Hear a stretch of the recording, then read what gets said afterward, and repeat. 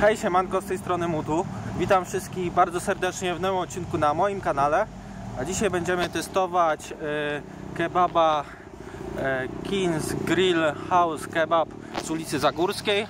E, jest tutaj ze mną kolega Sebastian, który również będzie testował ze mną. Weźmiemy sobie oczywiście najtańszego i przetestujemy dla Was tego kebaba. Także zapraszamy do oglądania. Dobra moi drodzy, e, kebaby zakupione. E, Zapłaciliśmy 7,50 za jednego, a więc całkiem spoko cena. E, Wzięliśmy sobie oczywiście sosy mieszane. Idziemy do plecaka na wynos, także za chwilę będziemy testować. Dobra, nasze kebaby z Grill House są już gotowe. Zapłaciliśmy 7,50 za takiego kebaba, dosyć dużego. I próbuj jak to smakuje. Chrupiące ciasto, dobrze przypieczone. Mhm, dobra. Jakie tam składniki masz? Mieszany sos? Pikantny czy nie? Nie, no mieszany.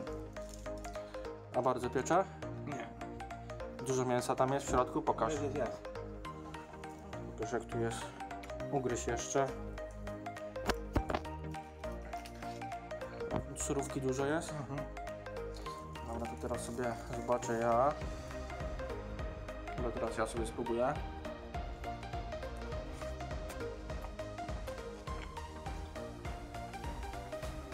Powiem wam, że ta tortilla nie jest zbyt taka chrupka, no nie?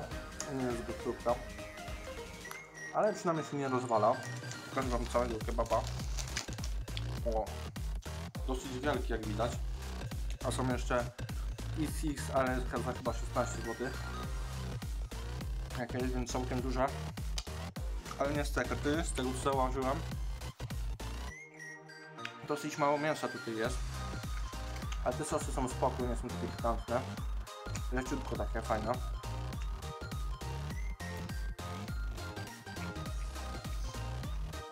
Zobaczcie sobie. No może pod koniec kebaba pojawi się więcej mięsa, zobaczymy.